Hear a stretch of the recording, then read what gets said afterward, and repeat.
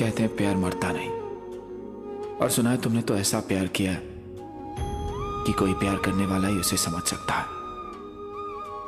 वो छोड़ के चली गई तुम्हें अपनी दुनिया में।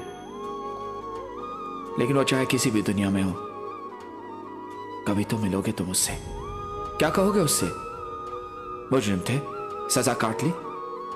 कुछ ऐसा नहीं करोगे जिससे उसकी नज़रों में उठ सको, ताकि वो कह सके।